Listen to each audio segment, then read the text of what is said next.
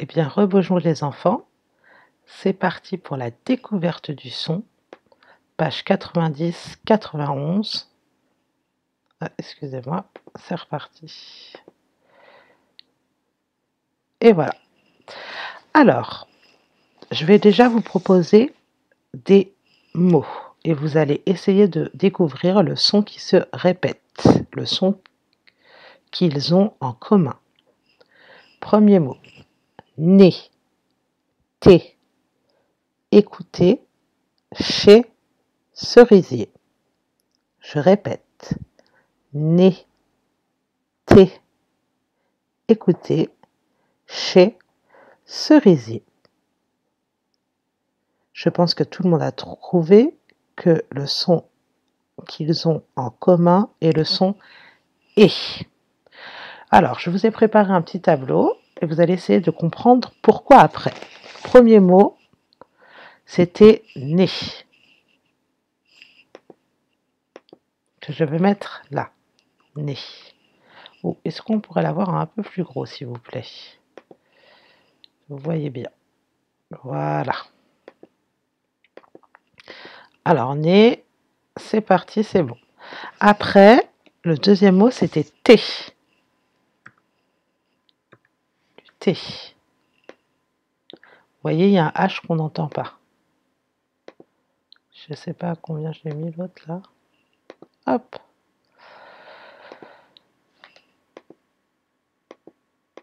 Ok, c'est parti, on continue. Le troisième mot, c'était écouter. Écouter. Je vais mettre aussi en 18 pour qu'on voit bien. Écoutez, voilà. Après, on avait chez.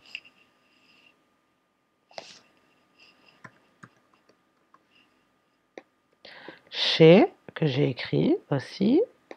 Et le dernier, c'était cerisier, que cette fois, je vais mettre là. Cerisier.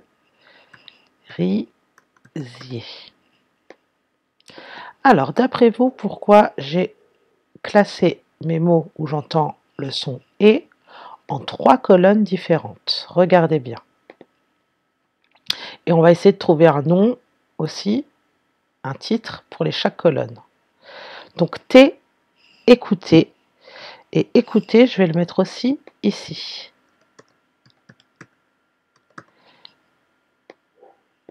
En 18, s'il vous plaît. Voilà. Alors, ici, je vais tout mettre déjà en 18. Ici, on peut remarquer que on va essayer de, on peut remarquer dans cette colonne que les sons et pour faire le son et, on utilise la lettre E accent aigu. Donc cette colonne, je peux l'appeler E accent aigu. Ce sera le titre de ma, colonne. Voilà, très bien. On va le mettre en gras et on va le mettre en rouge pour bien qu'on le voit. Hop, ça c'est le titre de ma colonne. Ici, pour faire le son E, je utilisais la lettre EZ, les lettres EZ, pardon, et là aussi les lettres EZ. C'est pour ça que je les ai mis dans la même colonne. Donc le titre de cette colonne, ce serait EZ pour faire le son E. Je vais mettre en rouge aussi et au milieu. Et dans cette colonne, j'ai mis aussi écouter parce que dans écouter, on entend deux fois et que j'ai mis dans cette colonne, coup et T. Et donc là, pour faire le son et, on a utilisé les lettres E et R. Donc cette colonne-là, je peux aussi l'appeler la colonne E des lettres ER pour faire le son E. Donc, dans cette découverte du son, on a appris maintenant qu'il y avait deux façons différentes d'écrire le son E. Nous, on connaissait déjà cette première colonne, le E accent aigu. Et maintenant, on apprend que les lettres EZ et les lettres ER peuvent faire aussi le son E. Nos mots repères, le nez, EZ, et le panier, ER. Vous pouvez aussi remarquer qu'on n'utilise jamais les lettres ER ou EZ, EZ ou ER, pardon, au début d'un mot. D'accord? Au début d'un mot, on utilise toujours la lettre E accent aigu.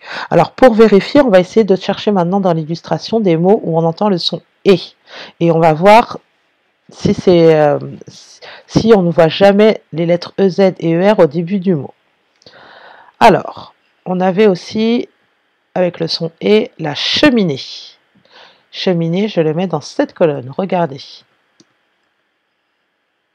Cheminée.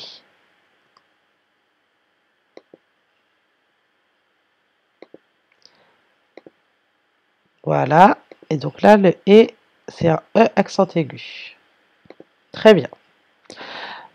Avec le son E, ici, on pouvait voir aussi dans, sur l'illustration le collier sur la maman de Hugo.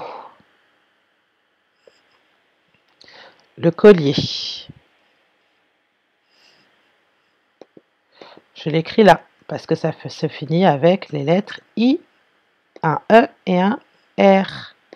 Pour faire le son E, collier. Après, on avait aussi le lézard qui est juste là. Donc le lézard, je le mets dans cette colonne. Parce que le lézard, je peux...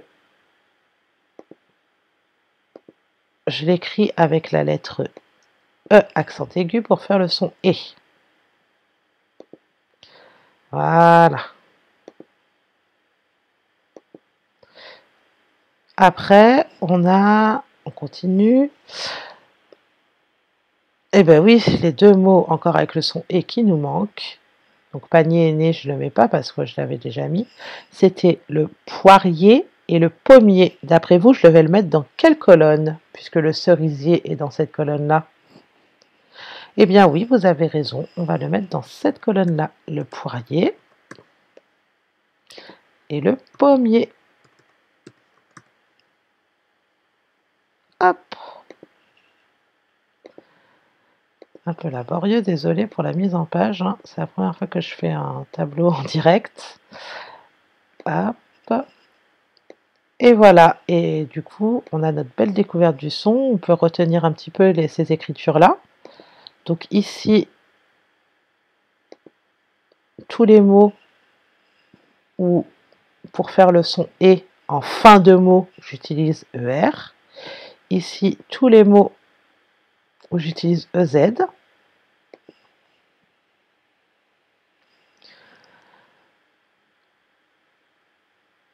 Et on utilise beaucoup EZ aussi avec vous. Par exemple, vous chantez.